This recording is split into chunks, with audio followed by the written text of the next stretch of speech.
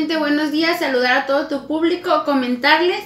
Este sábado pasado íbamos a llevar a cabo el programa Regidor en tu colonia, en el cual pues por causas que nosotros conocemos, el tema de la lluvia que azotó nuestro puerto pues fue imposible que se llevara a cabo. Comentarles a todos los vecinos de la colonia Barrio Nuevo, la colonia Francisco Villa, el Jabalí, Vista del Mar y colonias aledañas que está por reagendarse esta brigada que se iba a llevar a cabo para el día miércoles o jueves por confirmar más tarde y de igual manera los horarios. Comentarles que son programas los cuales benefician a los y a las ciudadanas ya que se va a estar llevando por ahí el programa de eh, el examen de la vista a bajo costo.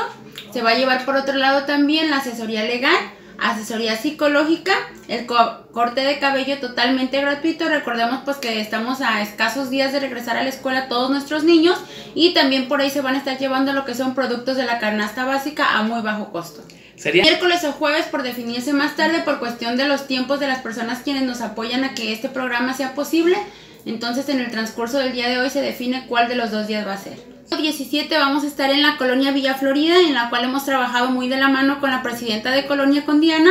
Eh, comentarles, ya son 12 eh, reuniones las que se tienen programadas con este programa de Regidor en tu Colonia, el cual lo vamos a hacer público para que todos los ciudadanos estén por ahí pendientes. Vamos a agradecer la confianza a su servidora, comentarles que con su amiga y regidora Janet Gutiérrez juntos podemos hacer más.